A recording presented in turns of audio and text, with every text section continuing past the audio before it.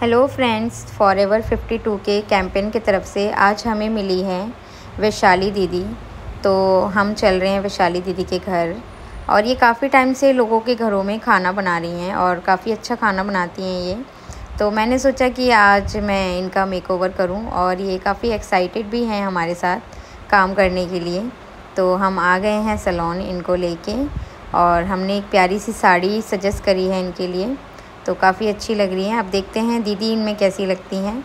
तो for ever fifty to के product की मदद से मैं इनका मेकओवर करने जा रही हूँ। तो आप लोग भी ज़रूर बताइएगा आप लोगों को कैसा लगा। फॉर एवर वालों ने हमें काफ़ी अच्छा मौका दिया है कि हम भारत की एक खूबसूरत ऐसी बेटी को सजाएँ जिन्होंने कभी लाइफ में मेकअप नहीं कराया। इन्होंने अपना एक्सपीरियंस मुझे शेयर करा कि मैंने कभी ज़िंदगी में मेकअप नहीं कराया। तो हम इनका मेकअप करके उसके बाद इनसे एक्सपीरियंस लेंगे कि इनको हमारा काम कैसा लगा? और आप लोग भी ज़रूर बताइएगा गाइस कि आप लोगों को हमारा काम कैसा लगा। और थैंक यू बोलना चाहूँगी मैं फॉर एवर फिफ्टी टू को, कि उन्होंने हमें ऐसा मौका दिया कि हम भी भारत की एक खूबसूरत बेटी को ये अपॉर्चुनिटी दे सकें। थैंक यू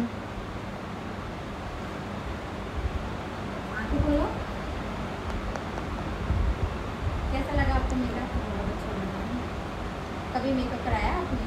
फ़र्स्ट टाइम है आपका जी अपना एक्सपीरियंस शेयर मुझे ऐसा लगता है कि मैं कभी ऐसा मेकअप करा ही नहीं सकती थी। इतनी सुंदर लग रही थी जो एक्टर भी कम मतलब फेल कर थैंक यू बहुत अच्छा मेकअप आपके लिए मेरा।